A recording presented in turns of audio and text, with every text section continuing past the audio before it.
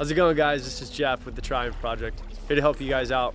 A little how-to video on putting on your new BlueSeventy wetsuit. It feels good to lie you, to lie you.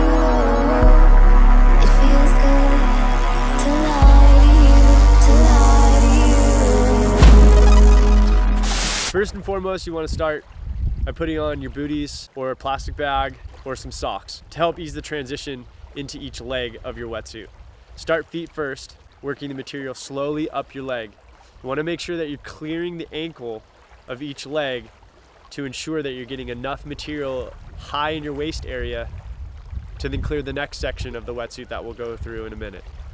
As you're getting each leg on, you want to make sure that you're slowly working that material up, avoiding any type of pinching with the nails that can lead to tearing or ripping of your suit. As you slowly work each leg up, getting past the knee and making sure that you're working that material all the way up into a high placement on your waist that will ensure getting it over your shoulders for proper fitment. After you've done that, a tip that I've felt has been helpful is I reach into the suit on the inside to help pull, pull the material up onto each side.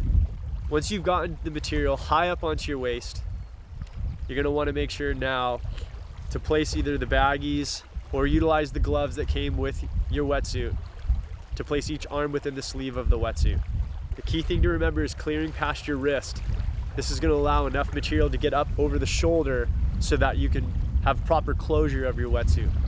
I slowly work the material up my arm by generally palming it and pulling it slowly up the arm itself.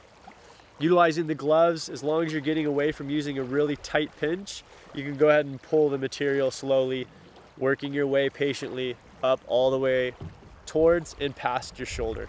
Once you've done this with both arms, you're ready to then do the final closure of the reverse zipper for your suit. So at this point, you're gonna be either having someone help you or you're flexible enough to zip the reverse zipper up yourself. Once you've zipped your wetsuit, go ahead and take the zip cord, fasten that to the Velcro, then place the neck tab onto the Velcro. You're all set, good to go. See you in the water.